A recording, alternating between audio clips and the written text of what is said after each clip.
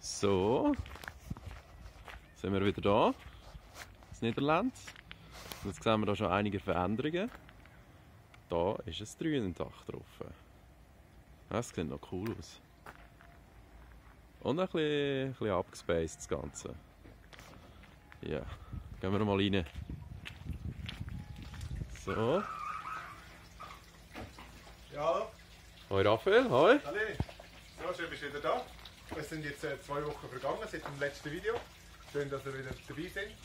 Ähm, es ist viel gegangen. Und zwar, äh, es hat genug geregnet in der letzten Zeit. Das heisst, wir können äh, den Tank füllen. Wir hat, äh, gut, wir hat eine Bestrebung gegeben aus Kronstahl. Da zeige ich dann nachher noch etwas dazu. Aha. Und ähm, ja, es läuft. Und wir kommen schauen, wie es der Pflanze geht. Also jetzt läuft eigentlich da richtig im Kreislauf. He? Jawohl. Da läuft jetzt rein. läuft zum Fischtank rein. Okay. Das überläuft.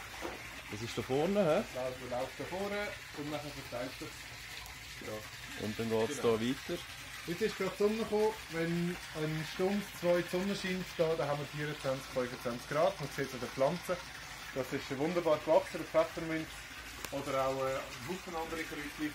Also wir essen regelmäßig, schon jetzt, es ist Anfang März, regelmäßig sehr fein. Zum Beispiel Tomatensauce können wir wirklich würzen. Ja, haben wir heute gehabt. Ist super sehr gewesen. gut gewesen?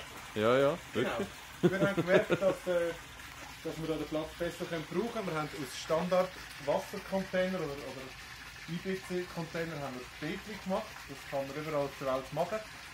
Und da wird noch etwa 3, 4 Quadratmeter, ja, 3, 4 Quadratmeter mehr Pflanzfläche geben.